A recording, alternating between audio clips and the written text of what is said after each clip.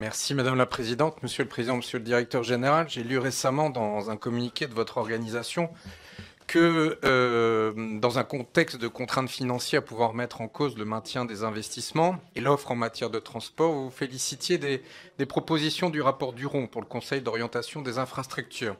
Ce, rapport euh, évoque un budget de 350 millions d'euros sur quatre ans en faveur de la mobilité active. Alors que ces modes de transport sont encore les parents profs des politiques publiques, cette préconisation est véritablement une nouvelle orientation dans la stratégie de l'État. Le développement des mobilités actives doit être ainsi une des clés de politique de santé publique, mais également une façon de se déplacer plus économe, moins agressive et énergivore dans l'espace public des territoires urbains, mais aussi ruraux. Alors ma question, comment le GART s'inscrit-il dans cette perspective et notamment dans le lancement d'un véritable plan vélo, comme le rappelle le rapport Duron? Merci. Dernière question de cette salle, Jean-Luc Fugy. Euh, et donc les 350 millions pour les mobilités actives, le GART y est très très favorable. Voilà.